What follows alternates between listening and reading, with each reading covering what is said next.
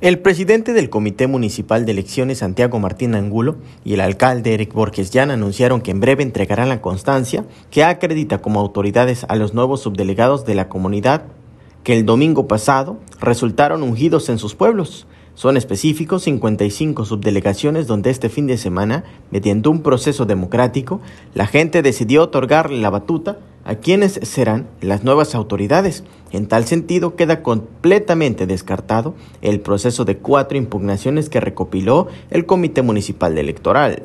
Las autoridades indicaron que la democracia del municipio permite saber quién, hasta por su voto, logró la preferencia de los habitantes en cada comunidad, representando incluso una buena participación de mujeres que ahora estarán al frente de la gestión de cada subdelegación.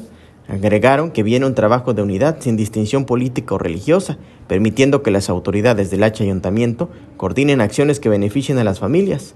Realizaron incluso, finalizaron diciendo que el trabajo será transparente y se acabaron todos aquellos vicios en donde quien gestiona podría estar aprovechando la oportunidad para desviar beneficios. Para Canal 10 informó Juan Ojeda.